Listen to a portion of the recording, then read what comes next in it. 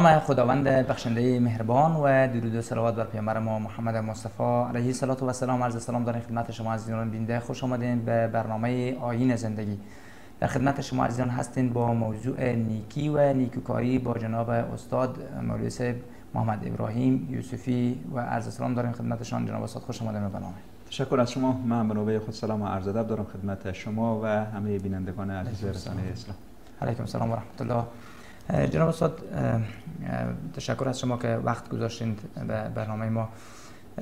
میشه در ابتدا نیکی و نیکوکاری تعریفی داشته باشیم که چی هست چی موارد علم شما به نیکوکاری و نیکی ارتباط بده. تشکر از شما. اعوذ بالله من الشیطان الرجیم. بسم الله الرحمن الرحیم. و به نستعین. قال الله تبارک و تعالی ان الله یأمر بالعدل والاحسان و ایتاء ذی القربى و ینهى عن الفحشاء والمنکر والبغی یعظکم لعلکم تذکرون صدق الله مولانا العظیم در رابطه به نیکی و نیکوکاری خدمت شما به عرض برسانم که نیکی همو احسانی است که انسان در حق دیگرا می‌کنه بله. و چون خود انسان نیاز داره که دیگرا در حق از اون نیکی بکنن.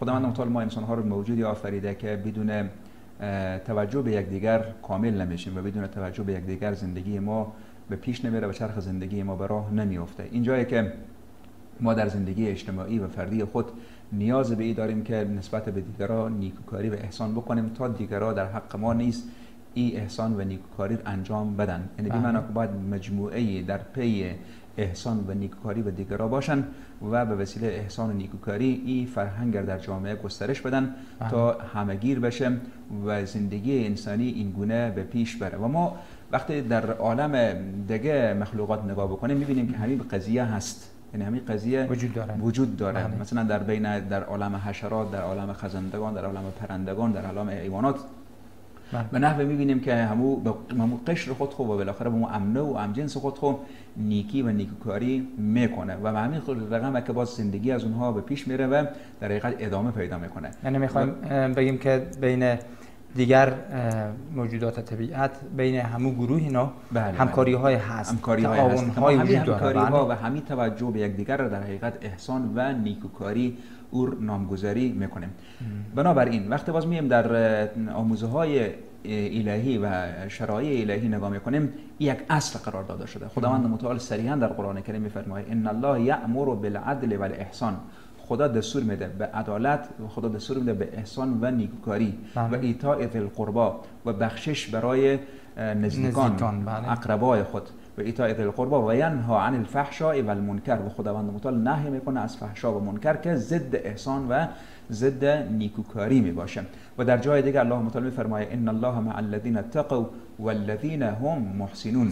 معیت خدا نصرت خدا و توفیق خداوند متعال امراه کسانی است که امی ایده احسان و نیکوکاری دارن و در اعمال و در اخلاق خود احسان و نیکوکاری رعایت می‌کنن. پس به طور مختصر خدمت شما برز برسانم که احسان و نیکوکاری یا نیکی و نیکوکاری یک امر فطری و طبیعی است که انسان ها به او نیاز دارند و بدون احسان و نیکوکاری هیچ امکان نداره که چرخ زندگی انسان به پیش بره. وقتی امر فطری میگم یعنی جدای از کافر و جدای از به مسلمان. حتی کافر که کافره و همون مشرک هم که مشرکه که یا باور به خداوند متعال نداره یا باور از باور ناقص و باور به اصطلاح نادرستی است. همونا هم می‌بینیم که به مسئله احسان و نیکوکاری یک چیز به نام به اصطلاح انسان گرایی دارن نه؟ چیز توجه به انسان دارن. و در قضایای به حتی می‌بینیم که حیوانات اونا یک بحث در حقیقت به پیش خود به عنوان یک ارزش دارن. وقتی باز وارد دایره اسلام میشیم دیگه باز بحث فراختر و حقیقت گسترده تر از این قضیه انسانی میشه. در کنار قضیه انسانی قضیه اسلامی از هم مطرح است. دقیقاً. در کنار ای که صفت یا اخلاق اسلامی هست اخلاق انسانی, انسانی هم هست. با توجه به که میگن اخلاق اسلامی هست حتما قرآن موارد زیاد راجع به قضیه داره. میشه مصداقهای نیکیکاری و نیکیر از قرآن برای ما بیان بکنیم. چی مصادیق قرآن به پیش روی ما از نیکی و نیکوکاری می‌گذاره؟ دقیقا. تشکر از شما. در قسمت مصداقهای نیکوکاری در قرآن کریم خب ما بعد ما و شما به این نکته توجه داشته باشیم قرآن کتاب نیکی و نیکوکاری هست. یعنی اصل و اساس قرآن کریم به همین خاطر گذاشته شده؟ و خداوند متعال احسان کرده در حق بندگان خود با نازل کردن کتابی به نام قرآن کریم یا با نازل کردن کتب دیگری به نام تورات و انجیل و دیگه صفحاتی که خداوند متعال بر انبیاء علیهم السلام نازل کرده و فرستادن خود انبیا یکی از مستاقه های نیکی است که خداوند متعال در حق بندگان خود نموده. اما به گونه به اصطلاح پراکنده در سوره های مختلف قرآن کریم و در آیات متعدد قرآن کریم پروردگار گاهی به شکل سریع و گاهی به شکل غیر سریع به این موضوع اشاره می‌کنه. ما در قرآن کریم آیات داریم که یک آیه قرآن کریم مثلا یک صفحه قرآن کریم را احتوا کرده. یک جا داریم یک آیه قرآن کریم اخی هارون نه؟ مثلا اخی هارون یک آیه دیگه. اخی یک کلمه باز هارون یک کلمه دیگه یک جمله بسیار کوتاه یک آیه هست و هم در حقیقت برمیگرده به معجزات بلاغی قرآن کریم که قرآن کریم کتابیه که با این بلاغت و با این فصاحت آمده به اصطلاح جامع ترین راهنمودها برای بشر تقدیم کرده. در قسمت نیکی و نیکوکاری ما یک آیه در قرآن کریم داریم آیه 177 سوره مبارکه بقره. یک آیه تقریبا می‌تونیم بگیم که نه چندان طویل ولی یک آیه به در حقیقت بلند می باشه که به این آیه پروردگار مستاقه های نیکوکاری در سه حوزه در حوزه اعتقادیات در حوزه اعمال و در حوزه اخلاق به بیان می‌گیره و فراموش نکنیم که این آیه خداوند متعال بعد از آیه 144 سوره مبارکه بقره که در رابطه به تغییر قبله نازل شده به حساب مستاق های نیکوکاری خداوند متعال بیان می‌کنه. و بله. موضوع دیگه بحث به اصطلاح اهل کتاب. اهل کتاب هم خب در اینجا دیگه شروع می‌کنن به پروپاگاند و بالاخره به توطئه و دسیسه که این مسلمان ها ثبات ندارن. تا به دیروز به طرف قبل ما نماز نماز میخوندن حال باز برای خود خود یک قبله مستقل در حقیقت ایجاد کردن. و از طرف دیگه منافقینه. منافقینی که در مدینه منوره زندگی می‌کنن و هر چندگاه در پی فرصتن تا بتونن بالاخره از این آب گلالود برای خود خود مایی بگیرن. و می‌تونیم بگیم که در حقیقت سخن روز شده در مدینه منوره. بله. اینجا که وقتی این گپا و این سخن ها مطرح هست و حرف و حدیث های به از آدرس های مختلف مطرح میشه. پروردگار در سوره مبارکه بقره آیه 177 این گونه مستاقه های نیکی و نیکوکاری رو برای بندگان خود بیان می‌کنه. و این گونه الله متعال برای ما شما آیه نازل میکنه لیس البر أن تولوا وجوهکم قبل المشرق والمغرب ولكن البر من آمن بالله واليوم الآخر. ولكن البر من آمن بالله واليوم الآخر والملائكة والكتاب والنبيين وآتى المال على حبه ذوي القربى واليتامى والمساكين وابن السبيل والسائلين وفي الرقاب وأقام الصلاة وآتى الزكاة والموفون بعهدهم إذا عاهدوا والصابرين في البأساء والضراء وحين البأس.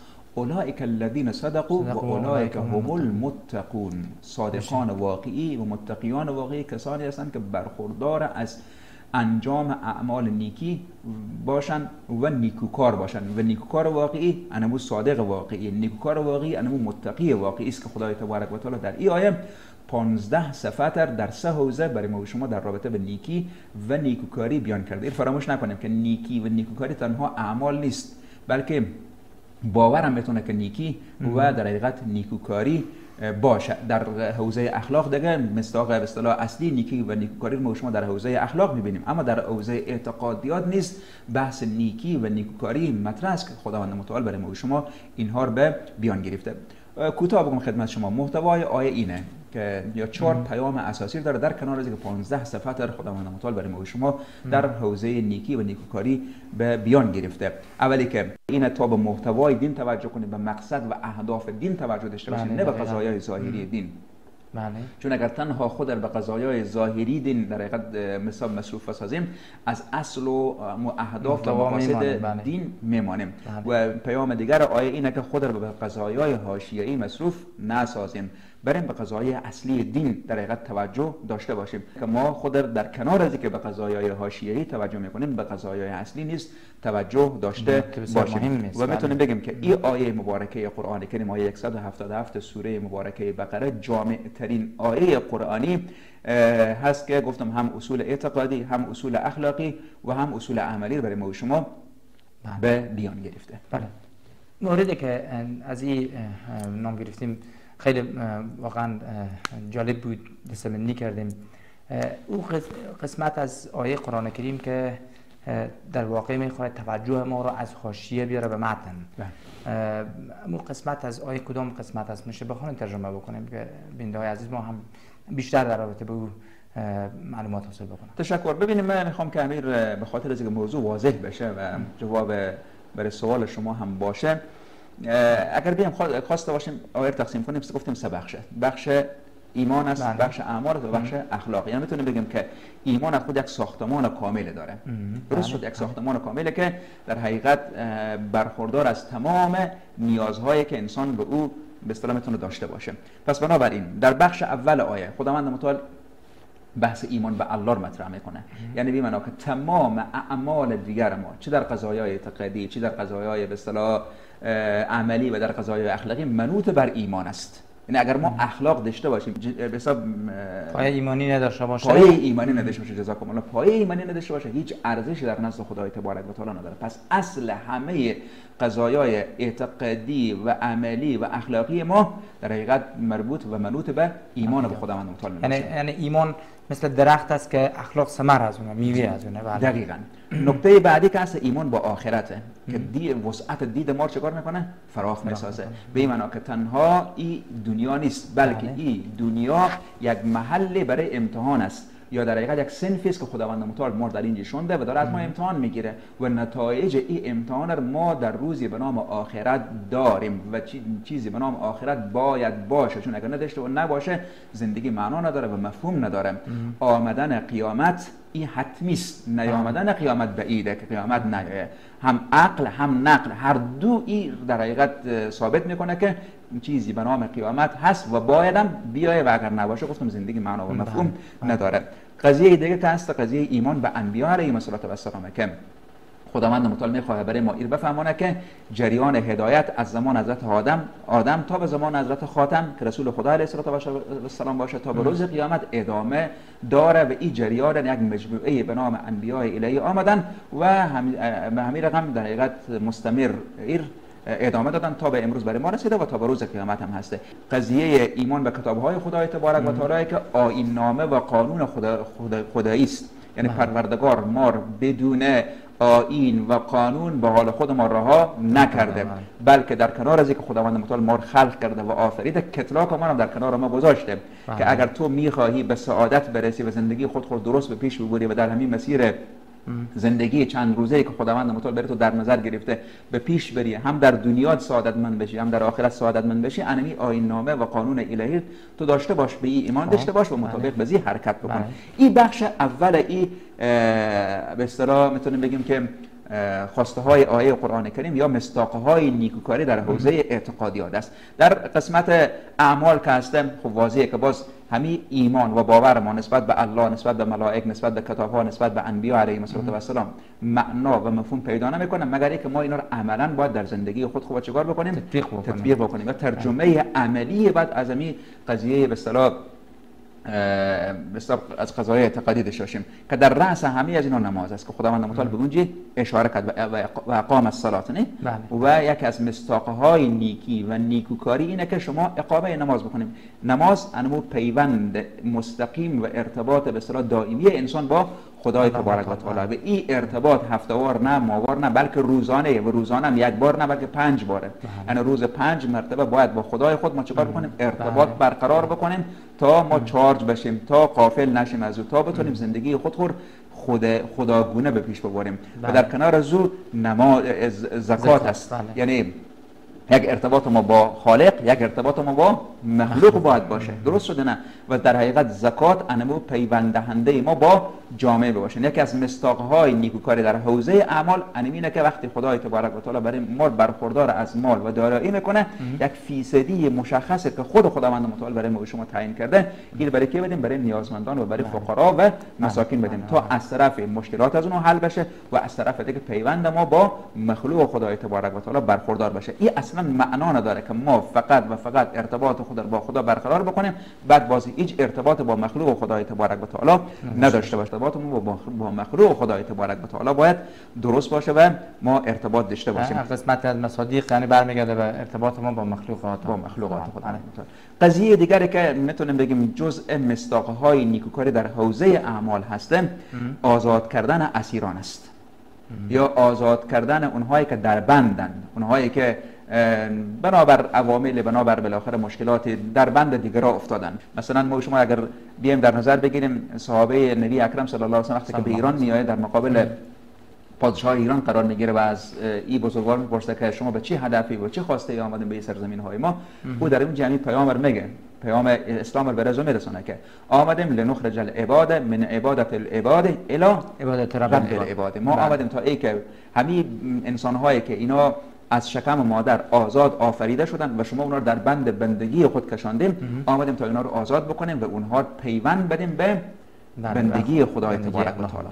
پس ببینیم آزادی انسان در اسلام یک اصل است و به همین خاطره که اسم می‌تونیم بگیم ما با قوت میگم. بنابر بله. مطالعاتی که من از اسلام عزیز دارم. اس- اسلام عزیز گفته که اگر مثلا نزدیک تو روزه خود در ماه مبارک رمضان خواندی خوردی قسم خوردی برو چیکار بکن؟ برد آزاد کنم اگر بله. قسم خوردی باز بکن. برده بله به اندازه ای که حتی ببینید پیامبر علیه الصلاه و السلام چندین غلام آزاد می‌کنه خانمای پیامبر چندین غلام آزاد می‌کنه صحابه پیامبر علیه الصلاه و السلام چندین غلام آزاد می‌کنه. و این غلاما رو که آزاد می‌کنن با حال خودم رها نمی‌کنن. بله. بلکه باز به اونا برنامه داره. جذب جامعه میشن. جذب جامعه میشن. بله. و جالبتر از اون خب بحث ای که منابع بردهداری محدود می‌کنه و برده ها رو از لحاظ فکری و عقیدتی آزاد می‌کنه آزاد می‌کنه، بله. بله حتی اونا تحت پوشش به اصطلاح برنامه های قرار میده که افراد آزاد می‌تونن به در حقیقت بله، از اون بله. امتیازا برخوردار بشن و ما شما شخصیت مثل اکرمر داریم بله. شخصیت مثل مجاهد داریم نه اینا کی بودن اینا در حقیقت برده بودن که زیر بله. دست از اصحاب پیغمبر صلی بله. الله علیه و سلم تربیه شده بودن و به عنوان امام اینها باز برای جامعه بشری تقدیم میشن. بله. و این از در حقیقت می‌تونیم بگیم که از مصداقه های نیکوکاری در اسلام و پیامبر علیه الصلاه و السلام چی میفرمه و فک العانی. و شما آزاد بکنیم انسان های اسیر و به این ترتیب خداوند متعال چی میفرمه فلق تحم العقبه و ما ادراک ما العقبه فک رقبه نه بله بله. بعد شما از گردنه تیر گردنه، بشیم و بله. تیر شدن از گردنه صعب العبور که می‌خوایم به خدا برسیم قرب خدا را حاصل بکنیم فک رقبه از آزاد کردن کسانی که در بند اسارتن و از همه چیز محروم بودن و یکی دیگه ببخشید که من زودتر توضیح زنار بودم. در حوزه اعمال جهاد است. بله. بزرگترین قله اسلام خوانده شده و در هم کوبنده ظالمین می باشه.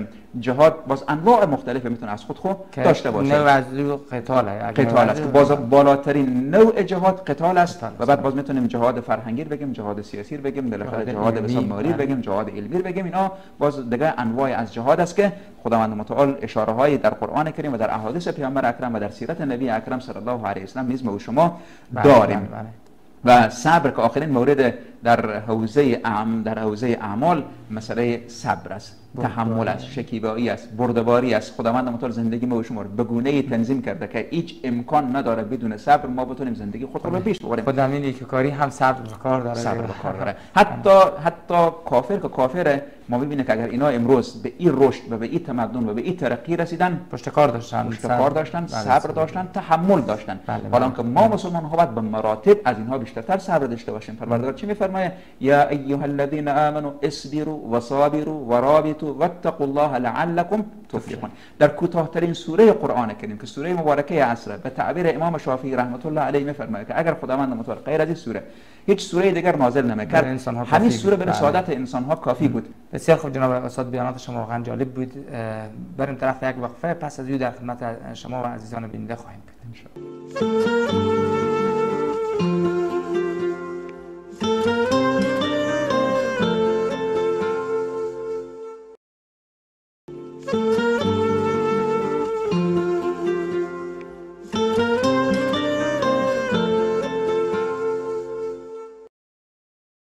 سلام و داریم خدمت شما عزیزان بیننده. خوش آمدین به ادامه برنامه آیین زندگی در خدمت شما هستیم با موضوع نیکی و نیکوکاری با جناب استاد مولوی محمد ابراهیم یوسفی. جناب استاد موارد بسیار زیاد در آیه مبارکه شما بیان کردیم. بحث نیکی با اقشار مستضعف جامعه که از جمله بحث برده ها و اسیران باشه. در این آیات خیلی برجسته بود. موارد دیگری از این مصادیق نیکی و نیکوکاری هم در این آیه حتما هست میشه که به اونها هم اشاره کنیم. تشکر از شما. من جلوترم خدمت شما و بینندگان عزیز به عرض رساندم خداوند متعال در این آیه مبارکه 15 صفت در سه حوزه حوزه اعتقادیات اعمال و اخلاق بیان کرده که من دو مورد رو اشاره کردم. خدمت شما بحث اعتقادیات و بحث اعمال. اما در قسمت اخلاق در حوزه اخلاق هم مستاقه های نیکوکاری در این حوزه خداوند متعال برای ما شما بسیار مهم هم هست بیان بله. می‌گیره بله. یکی از مهمترین مستاقه های نیکوکاری در این آیه بحث وفای به عهد است. عهد شکنی بدترین گناهی که در اسلام نه بلکه در دیگر شرایع هم گفته شده. به من چقدر حتی حساس. حتی بله. حتی اونهایی که صاحب دین هم میان صاحب رسالت هم میان صاحب رسالت آسمانی هم میان. همونا می‌بینیم فطرتا از این مورد و نقص شکنی و عهد شکنی متنفرن. و در قرآن کریم این موضوع بسیار بسیار پررنگ بیان شده. تا در جای پیامبر علیه الصلاه و السلام میفرماید که کسی که عهد نداره عهد شکن دین نداره. لا عهد لمن؟ لا دین لمن لا عهد له. دین نداره. کسی که بله. عهد نداره و در حقیقت به عهد و پیمانهای خود وفا نمی‌کنه. و خداوند متعال چه میفرمایم؟ و اوفو بالعهد ان العهد کان مسئول. بله. شما و, پایبند باشیم. به امو تعهدات که خود بله. چون این تعهد یک مسئولیته. بله. و اگر شما به این پایبندی نشان ندادیم در حقیقت از یک مسئولیت کلان ایمانی شانه خالی کردیم. و او حدیث پیامبر علیه الصلاه و السلام هم بله. داریم. دیگه در یک حدیث پیامبر خدا فرمودن که صفات منافق سه خصلت است که صفات بله. منافق. در یک جا گفتن چهار خصلت اگر بله. کسی از این چهار خصلت بر من و برخوردار باشه خدای نکرده او منافقه. خالصه که یکی از این صفات سگانه یا چهارگانه انمی و اذا عهد اخلفنی. بله. بله. وقتی که وعده به کسی میده خلاف می‌کنه خلاف می‌کنه خلاف می‌کنه. و ما همین نکته اینجا یک اشاره به اصطلاح داشته باشم پررنگتری موضوع بیان بکنم که متاسفانه یکی از مشکلات جامعه ما امروز خصوصا در حوزه قضایای حقوقی و قضایای معاملاتی متاسفانه همین موضوع شده. بحث خلاف بحث- که متاسفانه بله عهد شده. ولی توصیه. خدمت اعضا می‌کنم که اگر می‌خواهیم یک معامله خوب داشته باشیم می‌خواهیم که در قضایای حقوقی, حقوقی خود خود دچار مشکل نشیم به این قضیه پایبند باشیم که اگر خدای نکرده در قسمت از این قضیه بی توجهی کردیم واضحه که اعتماد از ما. سلب میشه بله، و بله. دیگران اه، در واقع نمی‌تونن اعتماد بکنن. بر ما. اعتماد از هم که. شما مشکل گفتیم بله و دیگه قضیه دیگه دل کندن از مال است که در آیه خداوند متعال بیان کرده بحث انفاق مال در خدای تبارک و تعالی به بیان می‌گیره. انفاق مال به این معنا که انسان مؤمن و مسلمان اسیر مال نیست بلکه امیر ماله. بله. انفاق مال که ما رو در حقیقت به قرب میرسونه ما رو به بله. خداوند متعال میرسونه لن تنالوا البر حتی تنفقوا مما مما تحبون. هرگز شما به نیکی نمی‌رسیم. هرگز شما به خدا نمی‌رسیم. تا مادامی که انفاق بکنیم خرج بکنیم تقدیم بکنیم در راه خدا از مال از اینا بگید اینا رو پاک کن تسکیه کن و در حقیقت انمو خود من اموال صدقه تطهرهم و تزکیهم بیا که اونها پاک و تزکیه بشن بله. ترحم به فقرا و ایتام که در این آیه جزء به اصطلاح مستاقهای اخلاقی و مستاقهای نیکوکاری بیان شده. کلا بل لا تکریمون الیتیم ولا تحاضون علی طعام مسکین. الله متعال به این موضوع اشاره می‌کنه تر- ترحم به فقرا و مساکین. یعنی می‌تونه بگیم که اسلام عزیز 1450 سال پیش که وقتی حق یتیم و حق فقیر زیر پا می‌شد و ضایع می‌شد خود را حامی مستضعفان و حامی حامی قشر ضعیف جامعه می‌دونه و ما شما در بین جامعه خود خب می‌تونیم بگیم که ضعیف ترین قشر قشر ایتام است و بعد قشر فقرا و مساکین و اسلام خود را حامی حق و حقوق از اینها میدانه. و در این آیه پروردگار در یعنی می‌تونیم بگیم در یک جای بسیار حساس الله متعال به اشاره می‌کنه کلا بل لا تکریمون الیتیم ولا تحاضون علی طعام مسکین. مورد دیگر همش گذرا که ب- بریم سمت دیگه سوالات بله. هست و آخرین نکته که هست بحث صله رحیم است که خداوند متعال به این موضوع اشاره می‌کنه مصداق و آت المال علی؟ حبی بله. ذوی القربا یک از مصداقهای نیکوکاری است که خداوند متعال در حوزه اخلاق به او اشاره می‌کنه بله این مصادیقی که شما با توجه به این آیه مبارکه پررنگ اشاره کردین. در واقع بسیار جامع هستند دیگه. حوزه های مختلف زندگی انسان را در بر می‌گیرند. با توجه به امکاناتی که جناب استاد ما امروز داریم در زمان معاصر و امکانات خود فراوان هست در هر عرصه ما امکانات فراوانی به دسترس ما هست. بله. با توجه به این امکانات در زمان معاصر چگونه ما می‌تونیم زمینه های نیکو، نیکویی و نیکوکاری ما بیابیم یا فراهم بکنیم؟ چه زمینه های وجود داره برای نیکی و نیکوکاری تشکر از شما. همطور که شما فرمودیم بله امروز ما زمینه های مختلفی رو برای انجام نیکی و نیکوکاری در جامعه خود خود داریم. ما ببینیم امروز نهادهای خیریه داریم. از بله. طریق از آدرس نهادهای خیریه می‌تونیم که بالاخره کار خیر رو انجام بدیم بله. کارهای خوب رو انجام بدیم. ما امروز وسایل به اصطلاح رسانه‌ای در اختیار خود خود داریم که از آدرس وسایل رسانه‌ای می‌تونیم راهنمای خوبی برای دیگرها باشیم. بله. ما امروز اینترنت اینترنت رو در اختیار خود داریم و فضاهای به مجازی داریم که از آدرس اینترنت و فضاهای مجازی همونطوری که میشه کارهای بد همونطوری که میشه کارهای غیر اخلاقی و کارهای نادرست رو انجام داد که نباید بابت او طرف بریم می‌تونیم کارهای خیلی خوب و کارهای بسیار نیکر برای دیگرها انجام بدیم. بله. می‌تونیم در معرفی مشکلات دیگرها برای اونهایی که توان حل مشکلات دیگرها دارن. ما بله. چیکار بکنیم؟ قدم نیک و قدم خوب در این حوزه و در این راستا بر بداریم ما امروز مساجد در, در اختیار خود خود داریم. بله. که از آدرس مساجد می‌تونیم خیلی کارهای خوب رو انجام بدیم. ما امروز مدارس را الحمدلله در اختیار خود خود داریم و در خصوصا در این شهر ما که هستیم. که از آدرس این مساجد ما می‌تونیم خیلی بخش مدارس خیلی می‌تونیم کارهای برای افراد مستعد و برای طلاب مستعد و برای دانشجوها و محصلای به مستعد خود خود انجام بدیم. ما امروز در شهر خود خود دارالایتام های داریم که از آدرس این دارالایتام ها می‌تونیم که خیلی قدم های خوب در راستای نیکی و نیکوکاری بر بداریم بیشتر.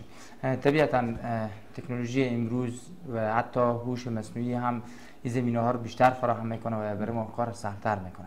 اه، جناب استاد با توجه به مفاهیم و مصادیقی که شما از قرآن کریم ذکر کردیم و امکاناتی که ما امروز به دسترس داریم و همیشه از اونها استفاده بکنیم به هر حال اگر رفتیم طرف نیکوکار شدن و این یک صفت به هر حال ویژه ما ملکه شد برای ما ملکه شد. شد چه نتایجی ممکنه در زندگی ما در در روح روان ما به هر حال ایجاد بشه در خانواده ما در جامعه ما؟ نتایج نیکی و نیکوکاری کدام هستند؟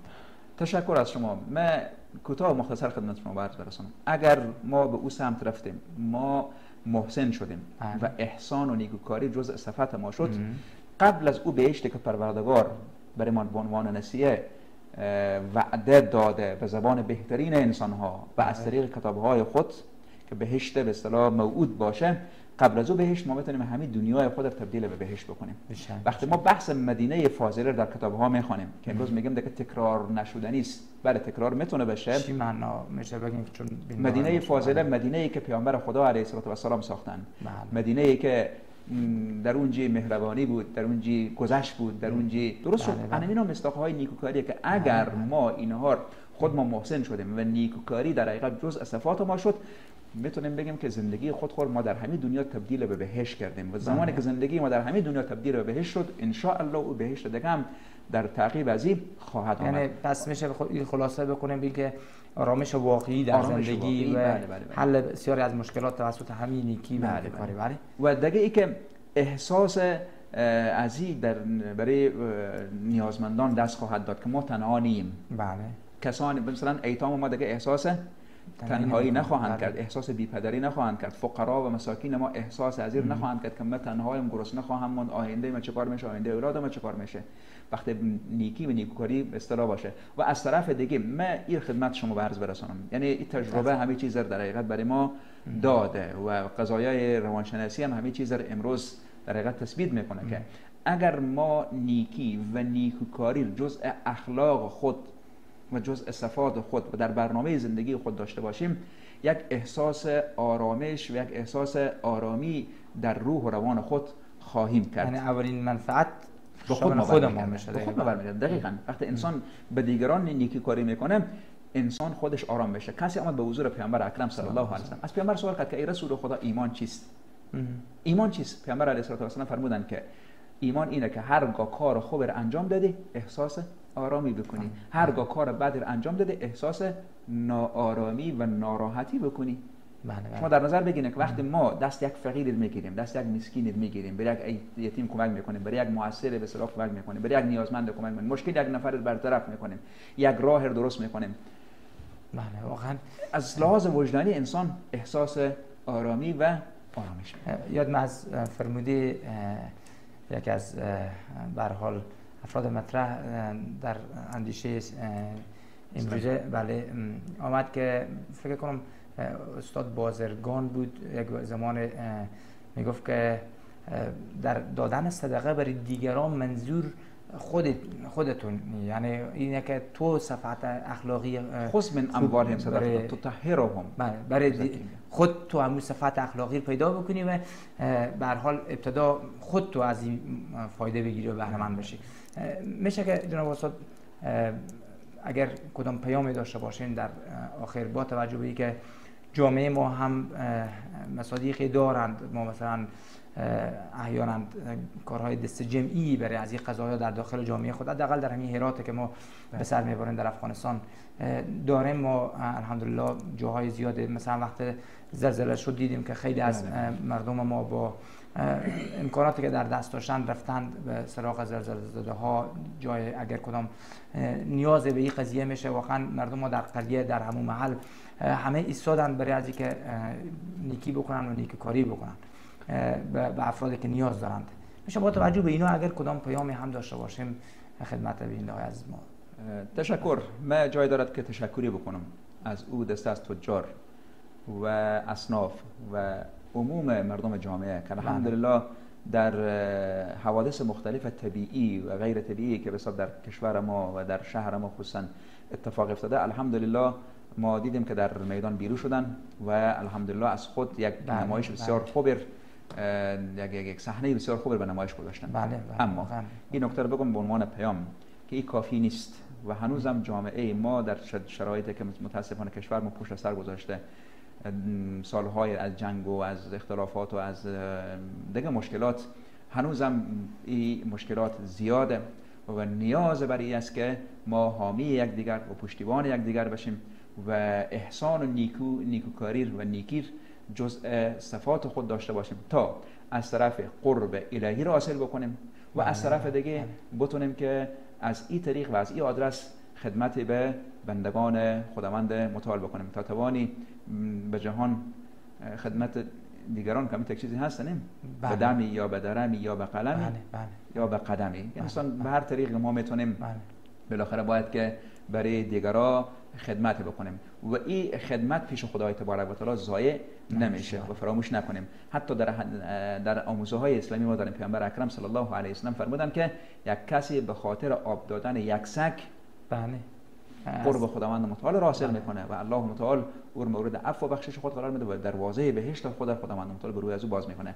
وقتی قضیه از این قراره که یعنی احسان به یک حیوان اینقدر پیش خداوند متعال ارزش داشته باشه پس احسان به بنده از بندگان خدای تبارک و تعالی به بله. انسانی از جنس و نوع خود ما این چقدر می‌تونه که فضیلت داشته باشه و چقدر ثواب می‌تونه داشته باشه. مثلا در رابطه به یتیم پیامبر اکرم صلی الله علیه و سلم فرمودن که انا و کافل الیتیم که هاتین فی الجنه.